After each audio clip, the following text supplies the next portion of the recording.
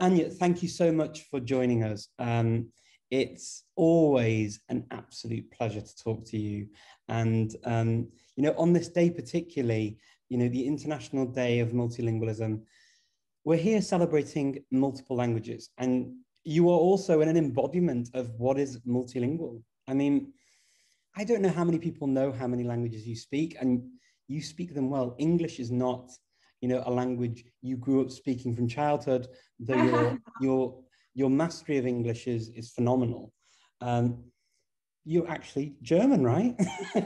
you, yes, I am. Born you're not even a fake German, you're a real yes. German. but tell us a little bit about the other languages. That's before we get to Mexico and before we get to that, tell us a little bit about your language story because I, I love this. Oh yeah, me too. I love that. um, well, born and raised in Germany, so my, my German is um, I've got a very high level in German, let's say. and um, and then I think my, my second strongest language is actually French. I mm-hmm. think I don't know. I don't know. Like I think maybe it changes also. But uh, I moved to France when I was 17. So I left Germany when I was 17. That's oh, 14 years ago. Um, and so I moved to France because I really wanted to learn French. And um, I fell in love with the language. And I think like this part um, kind of triggered me to learn more languages mm-hmm. because learning English, I mean, Richard, uh, everyone who has been to Germany, like learning English in school is like, yeah, X, right? As they say in. Mexico, X, right? So it's like, yeah, everyone can do that. And then, yeah. But then learning French to like a very high level and at a very young age, um, I think uh, it gave me that confidence that I needed to continue with languages and then I started with uh, more and more languages. I think, like in, in terms of order, the ones that I speak best, um, well, German, French, uh, and Spanish, English. I don't know. Uh, then uh, Portuguese is one of my very favorite languages, actually. And then from there, I have a couple of languages that I've learned to an uh, I don't know to an A2 level, but I think I've I've I don't know maybe I've gotten back to an A1 level already so um, European languages. But honestly, I especially when I when I moved to Canada back in 2011, I started uh, feeling the interest of like languages outside of Europe. Mm-hmm. Um, and so I've, I've done a couple of European languages, but a bit more just for fun. My sister is a professional translator for German Dutch. So yeah, um, that gave me the interest too, a little bit of Dutch, a little bit of Swedish, a little bit of Italian too. Um, but then uh, I started uh, with Mandarin. When was that? Like six years ago, maybe. And um, and I did also from Asian languages, also a little bit of Japanese. But that was actually just for the Polyglot conference. that was like my main reason. Um, and and then I started with indigenous languages, and this is something right now that I really want to focus on. Mm-hmm. So coming to Mexico now, um, I moved to Mexico back in 2014, so almost seven years ago. Crazy. Um, and um, yeah, I started with Nahuatl uh, maybe three years ago, and then I took a break.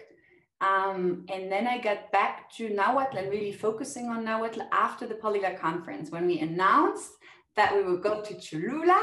um, that was like my motivational push also to to have a higher level to to be able to communicate better now what um yeah and uh, from there i started um well not really focusing on other languages because i still want to get a higher level in nahuatl um and because honestly like i can only focus on maximum two languages really. I mean yes the rest i can read a little bit but i don't feel that i improve. So for me it's maximum two languages at the same time. I can't do more um, and since February, I started um, Ñañú, which is uh, a language spoken mostly in el estado de Hidalgo in, in Mexico.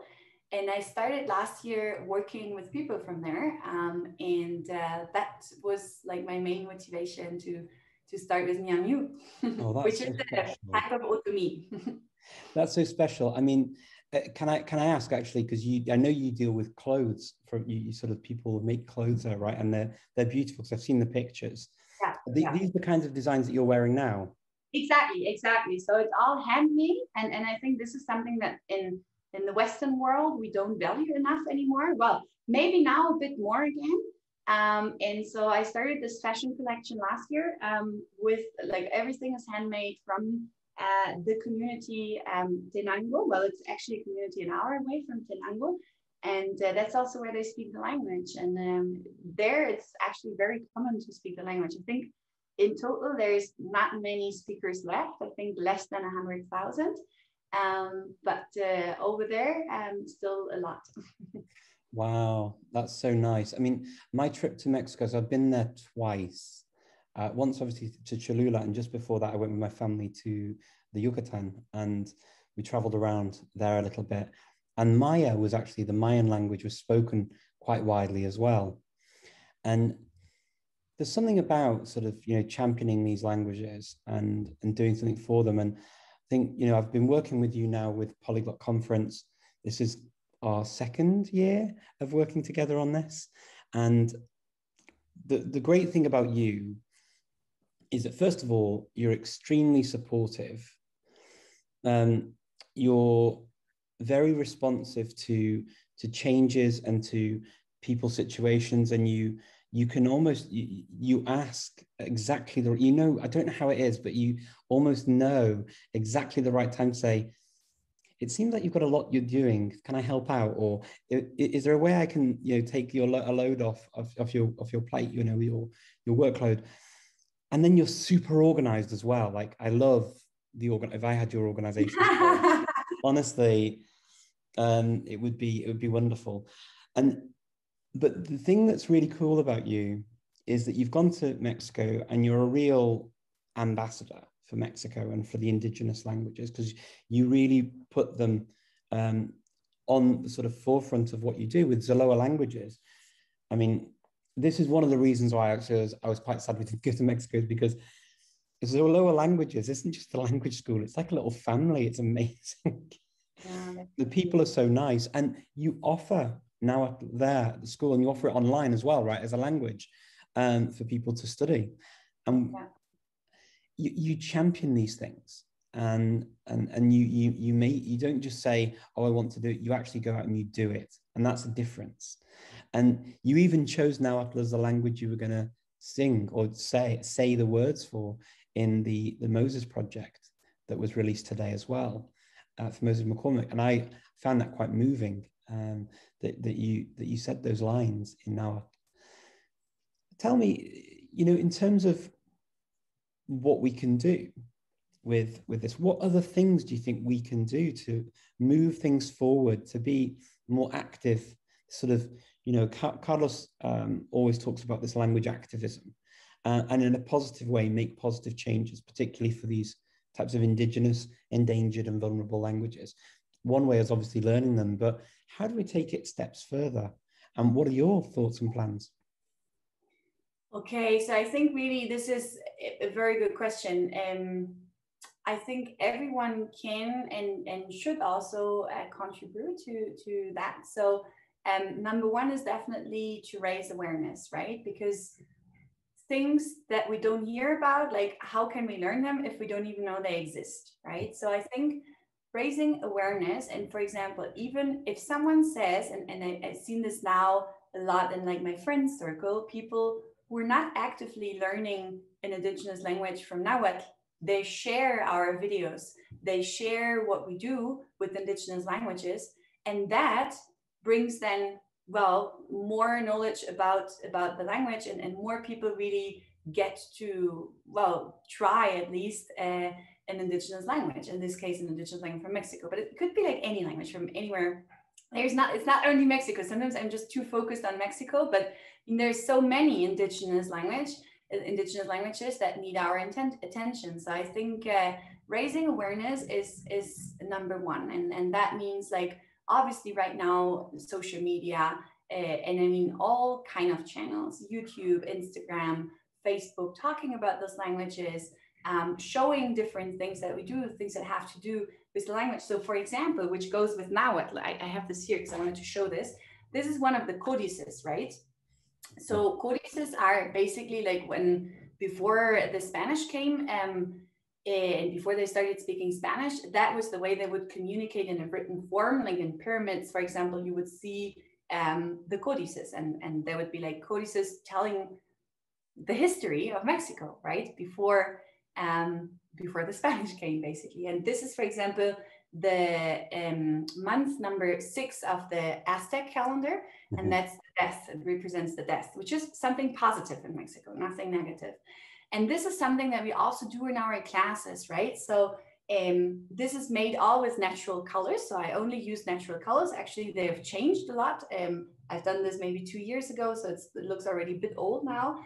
But this is also something like I, I talked about this, and then people who are not really interested in the Nahuatl language would be super interested in the codices, and it goes together, right? So I mm. think, yeah, that's definitely point number one, raising awareness.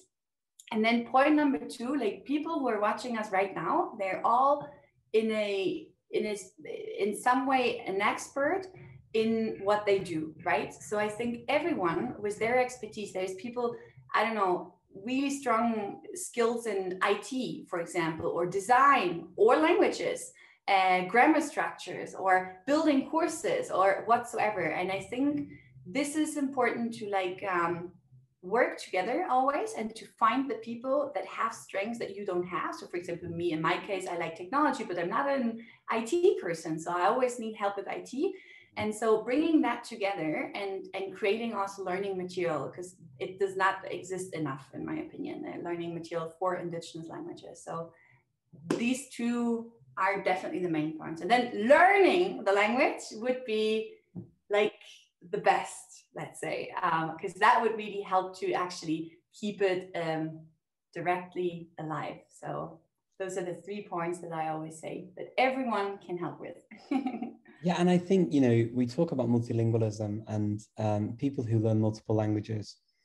I think where possible, it's good to even just start scratching the surface of at least one of these um, endangered, vulnerable, or indigenous languages um, just to sort of reach out and connect more.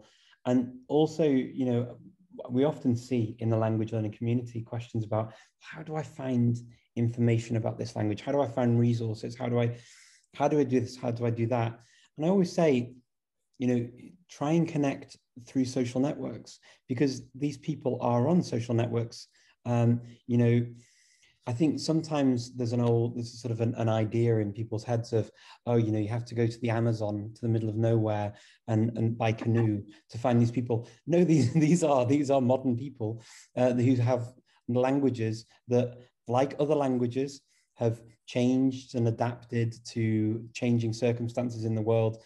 The, the, these are not. Um, we're not talking about languages from from a historical past where you have to go into the middle of nowhere to, to speak them. Um, of course, there are languages like that that exist, of course.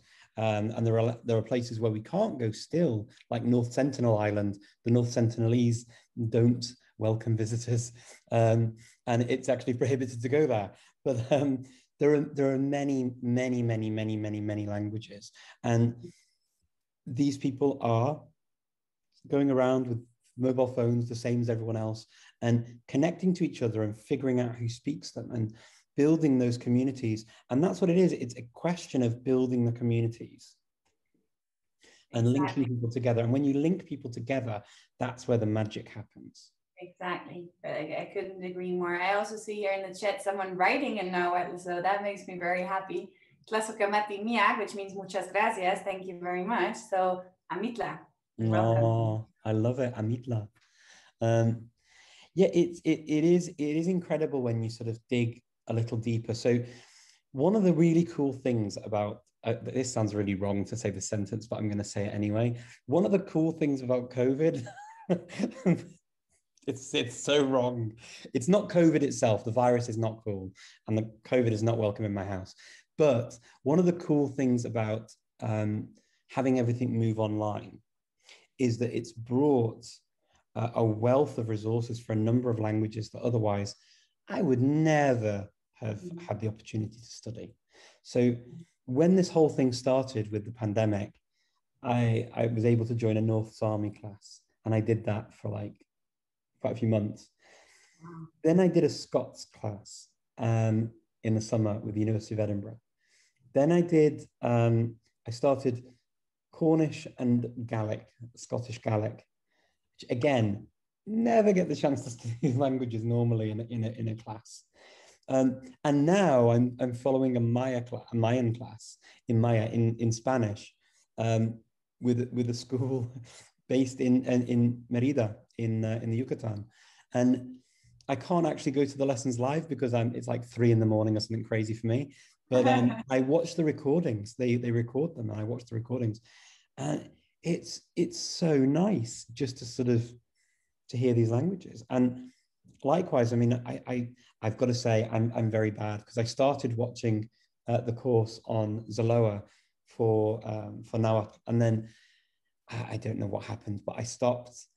Probably something crazy happened because it normally does. But now I'm thinking, I want to go back to Nahuatl again. Yeah, do it, do it.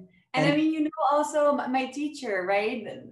Also, a lot of people know him here because he has given a talk at the Polyglot Conference. Uh, and he had actually also workshops about uh, um, drawing codices or painting them actually. And uh, he's amazing, isn't he? Yeah, he's so impressive and he's such an approachable and nice person as well. Yeah. Um, just very encouraging and uh, and I love his can-do attitude when it comes to teaching and learning uh, now. And I would love um, I'd and so I guess that's also another yeah that's also another thing that you when you ask like what can you do to to or what can people do to like um, help or to be more like well i don't like the word activist but uh, let's say to support indigenous mm-hmm. languages right like to support those people who actually know the language um, and to help them creating material out of it, but also to encourage them. Because what happens mostly, what I see with a lot of indigenous uh, language teachers, is that often, like from a financial point of view, it's not worth it to do that. So they leave it and they do another job, right? Because who wants to learn that language? That's always the question. And so I guess in that way, it's also important if you for example have a bigger audience then, then you can support them. And even with a smaller audience you can support them right? Supporting those people who help the languages um, that's also i think uh, and richard you are i think the superstar in doing that. Because you've done that with us but not only with us uh, with Zaloa in general and, and with so many other people who create material on on languages that need maybe more awareness. So honestly like uh, I think Richard is in many ways a great inspiration, but maybe a lot of people don't know that how you actually help those those people. So um, it's amazing, honestly, really. I'm I will be forever grateful for everything that you have done uh, for us and for Nahuatl and just bringing the conference to to Mexico is is like raising awareness about those languages, right? So oh, I, I cannot wait. I cannot wait to go uh, back to Mexico, and and I and I I think you know one of the things just to listen to you speaking then, if if there are groups of us in the language learning community that want to learn a language, there's nothing stopping us forming our own classes and then finding the teacher. Hmm. So that's also an option, whether you do that on a private basis or whether you do it as a group and you agree, okay, well, maybe we don't have much money to pay for one teacher one on one, but maybe if you form a group, you kind of you create the class and then you find the teacher because these teachers are out there. There are teachers for many of these um, indigenous mexican languages as well as a number of other languages around the world. And it, it really is quite rewarding uh, to, to start learning them. And uh, you know I, my, my only issue is i keep wanting to learn them all. I just see them all and they're all shiny and beautiful. And and I, I, I, would love to learn all of the languages. Um, and someone says, you know, if they ever ask me, if anyone ever asked me, is there a language you wouldn't want to learn? I'm like, no, no, no, right? No, Impossible. No. I understand. I just saw in this Q and A section here that uh, Olga uh, said, um, "Hello from Regensburg." So I just wanted to say hi to Olga as well, and for example, Olga reminded me how also music can help indigenous languages, right? There's a lot of things. Um, songs from 500, 600 years ago that exists in Nahuatl, right? So I've been learning one of the nicest songs to learn Nahuatl was, um, um, how do you say that in English? Una canción de cuña, o sea, like a, to, to oh, make yeah, lullaby, a lullaby. Yeah, mm-hmm. exactly. And so that was because the melody was so nice and, and the, the words were easy. And so mm-hmm. um, I like that one and I still like listen to it from time to time.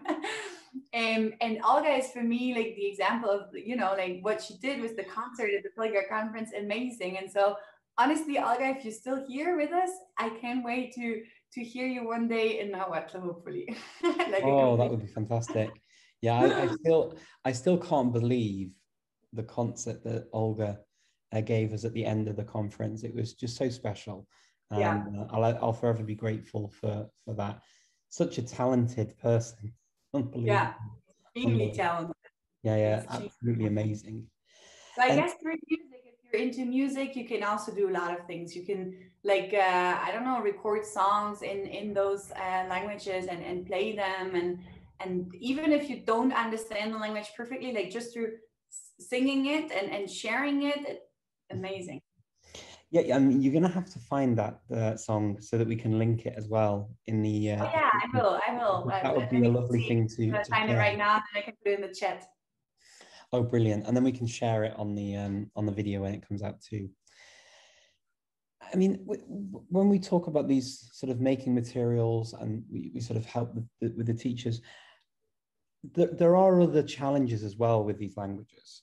Um, one of the things that I found in Mexico with with Mayan particularly, and I'm guessing this is the same with with um, for with with Nahuatl as well, is that when you speak to speakers of these languages, um, often they're not aware that you can write the languages and represent them with um, with the Latin alphabet, and they they seem to think that these languages are still written with the, the codices. And so you have to learn these really complex uh, pictorial, you know, these images, uh, almost as complicated or more complicated than Chinese, right? When you look at them.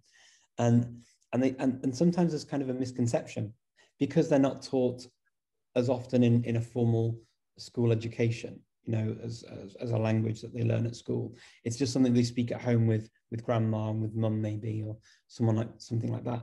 How, how do how do we move forward to get more recognition? I know this is something that's close to your heart, and what kind of things can can can people do to to do this in other parts of the world? Um yeah i guess um, obviously everything that, that i've already uh, mentioned um, but your question is is not about awareness but you said recognition right? Yeah getting recognition and being so that people in communities are, are, can get some some education in the language so that their awareness level of their own language is also heightened so that they know they can they can write it with with the latin letters it's not just codices that they, they have to learn and are scared of because it looks super complicated. Yeah, so recognition, well, um, maybe it's not the, the answer to your question, but this point about recognition, I think is, is extremely important because what I found, and, and it really, it broke my heart. Like one of the first times when, when we started practicing Nahuatl um, at a like local market in in Cholula where there was this special day where you would exchange. So instead of paying with money, you would bring I don't know, you would bring cookies and you would exchange them for apples, for example, right? so um, uh, yeah, I like those things, and and so there I was. Uh, we went with our whole now Nahuatl group, um, study group, and uh, and so one of my friends started asking a, a, a woman like about I don't know, 60 maybe. And he said to her, So, uh, usted habla Nahuatl? So, do you speak Nahuatl? And the woman said, No. And she was like sitting, like no chair, but sitting on the on the ground, like marketplace. And he was standing, right? So I thought that was also first mistake because you're talking to a person um down to her, right? So I'm like, okay, and I was just I was listening to that and I was like, that woman just spoke to her husband and now what? So I approached her again and, and we tried that then a different way. And we said, like, listen, it's it's it's really so we started learning your language and, and we really enjoy it and and I, I've learned the sentence and would you mind listening to the sentence and say me and t- tell me if, if that's correct or if, if there's any way that I could uh, I don't know do a better pronunciation and she's like yeah sure and so I guess this is one of the things they don't even it's not only about the writing system but also they don't even like to say that they speak the language because they feel ashamed of the language right? And I think that's the case in in many countries. So showing those people recognition is is is is a key to to improve um, the the knowledge also about that. And because that way if a person doesn't even feel proud of speaking the language then what happens they don't even um, talk to their kids anymore in that language because they don't want their kids to suffer the same way uh, they have suffered in school right yeah. and and so i guess that's very important to go to those people and Richard, I remember you're you're one of the best and, and just like approaching people also and and and showing them your respect. And and I think you're a big example um, for that. So that's oh, very important. Yeah.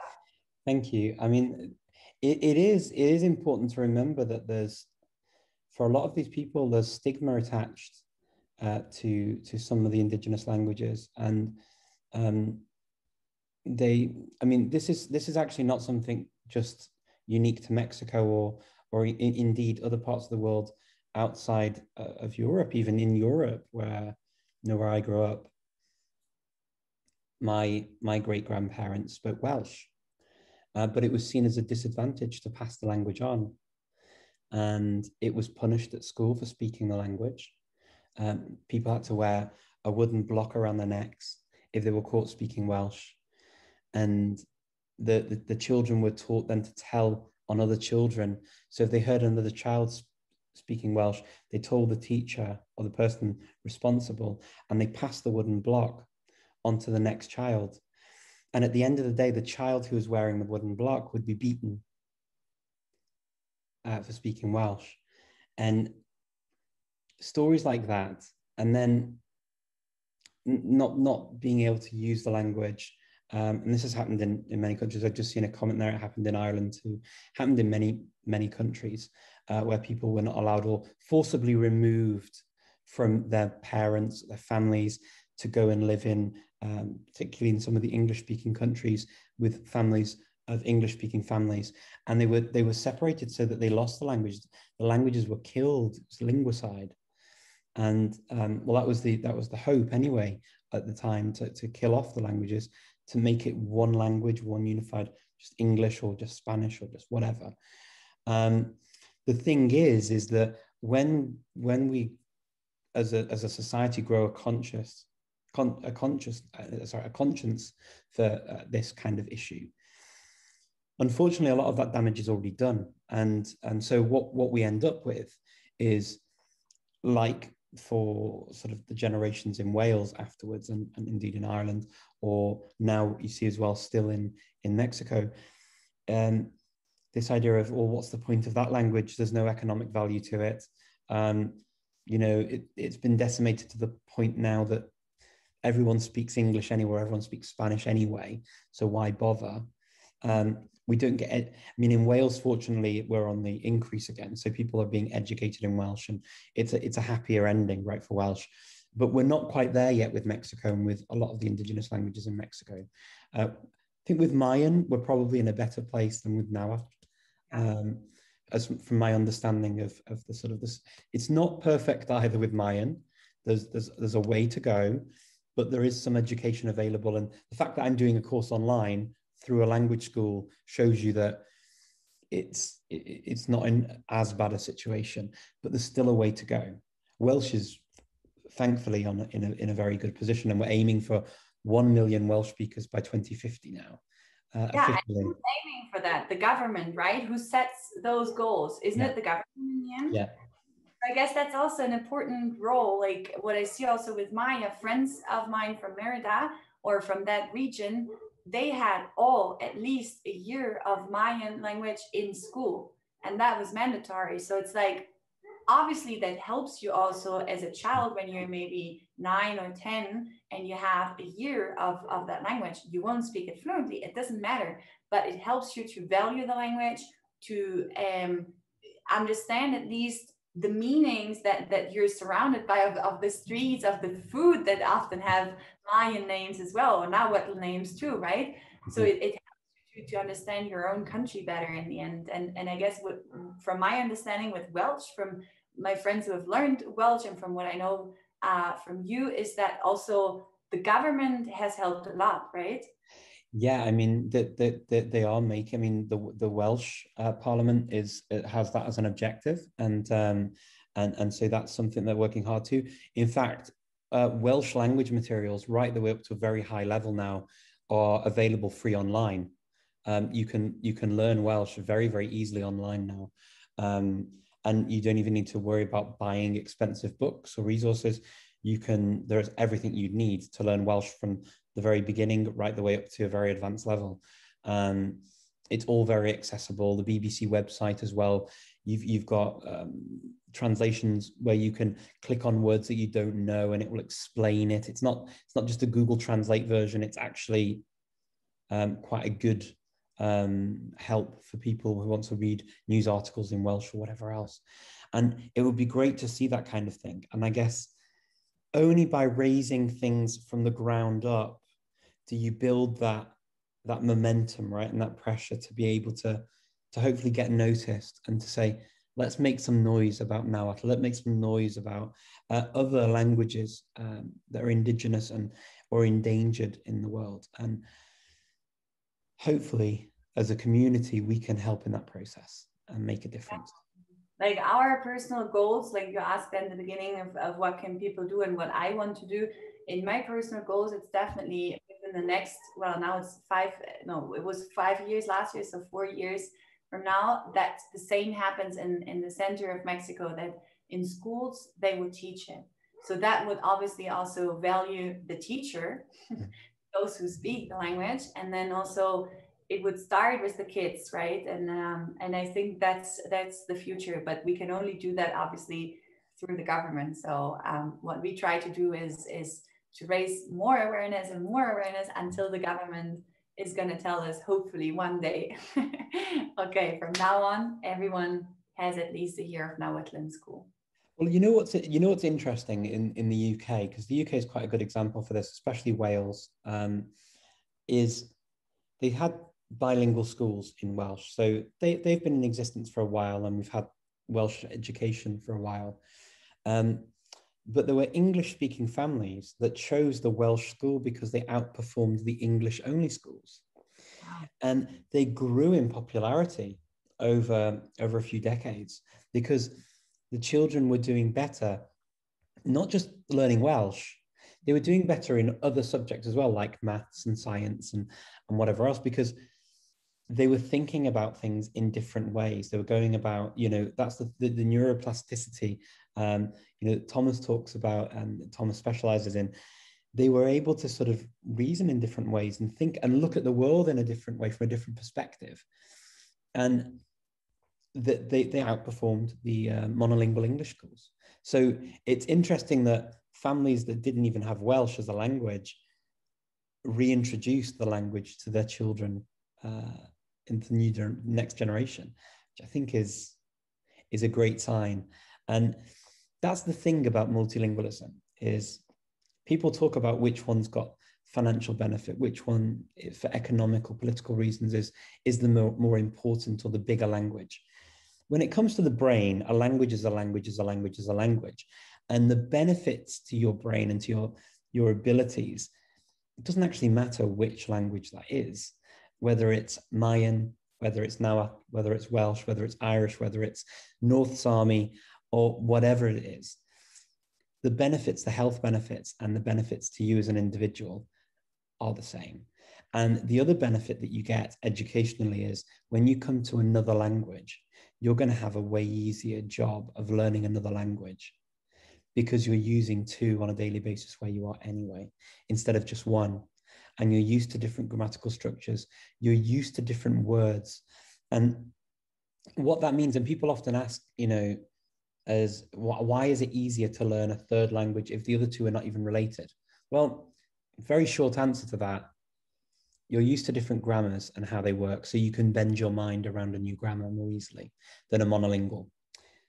Second reason is that with vocabulary, you need hooks to make memories, to link words. And if you have more words and more sounds in your vocabulary in your head, you have more chances of making memorable stories to memorize words more easily and to remember them and then to use them as well. Because you can imagine another word for dog or cat more easily than you can if you just have one language and you don't get it what it is to speak another language. I just see a little bit the chat as well. I'm so hoping to learn an indigenous Egyptian language. Wow.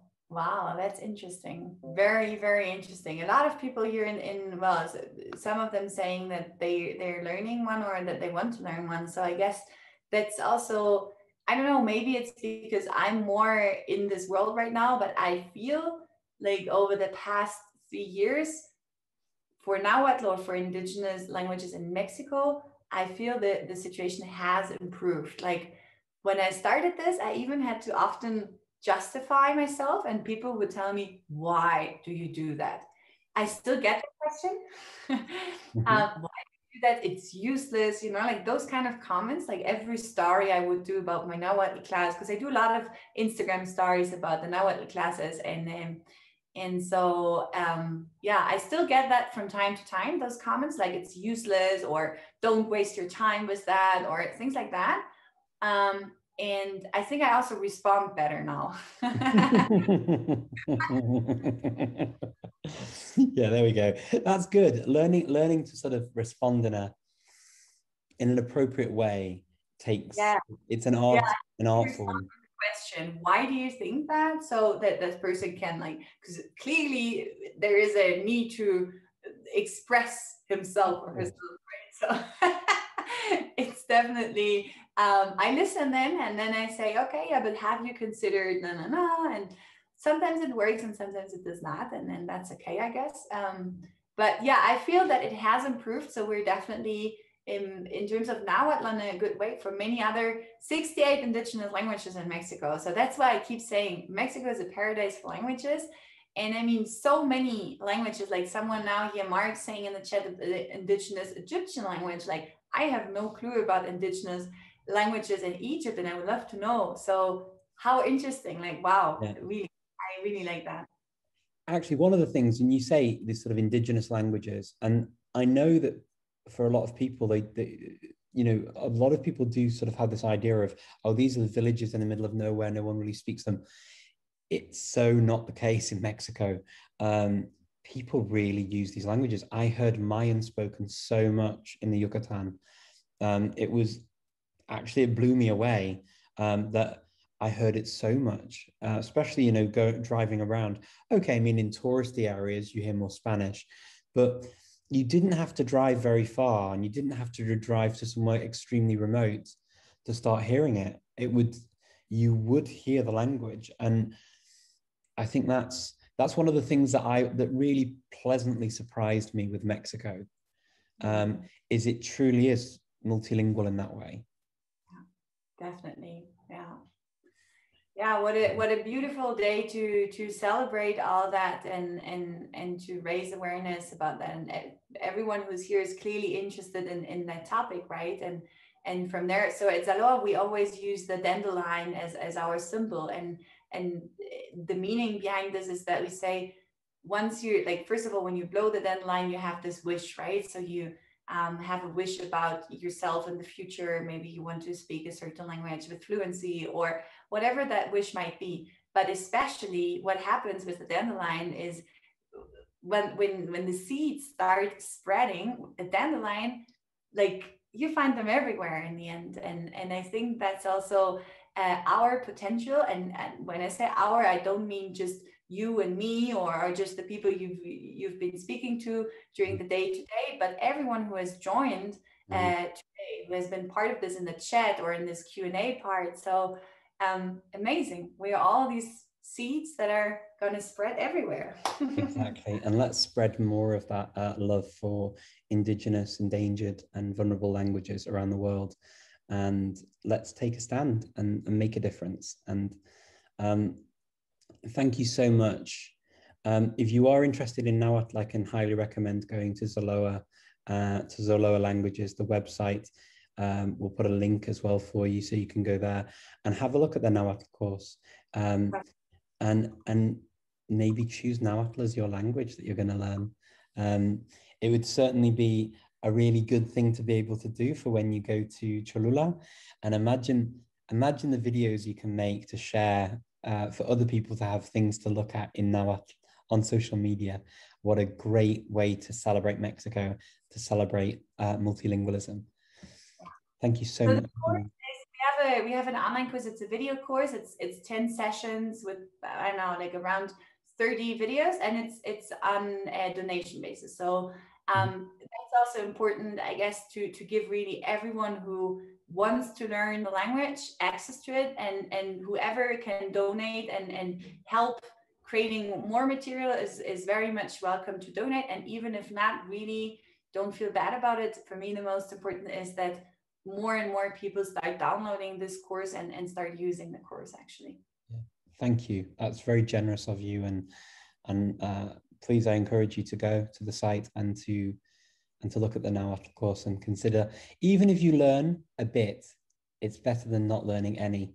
Exactly as um, you know, the famous polyglot um, uh, Kató Lomb said, a language is the only thing worth learning, even badly. Because the bit is better than nothing. Anja, it's been a pleasure. It's been a pleasure speaking to you.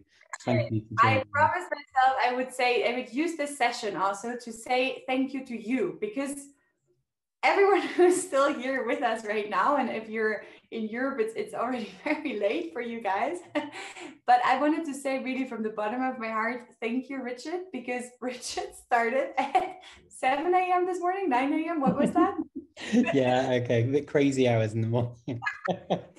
basically like 14 hours of, of interviews and talking to people and all that. Like, no one asked you really to do that. You had this motivation to say let's do it and honestly it's it's so inspiring and amazing and everything you're giving to this community um, I truly think it's it's unique because you're not get, even getting paid for this. We're doing this the whole day.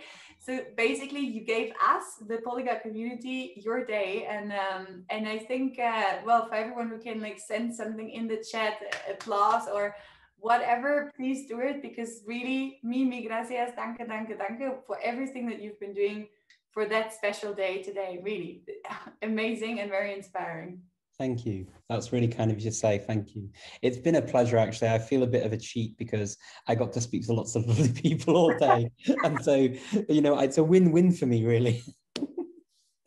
so I got to I got to enjoy lots of great conversations and and see lots of nice comments and and sort of I've just been drowning in in loads of the social media in between all these chats, and it's just been lovely. So yeah, thank you all for coming and for being part of this. And let's flood um, the internet with our hashtags. Um, multilingual is normal, multilingual day, and of course, Laushu 55,000 forever. Thank you. See you soon. You Take soon. care, everyone. Bye-bye. Bye.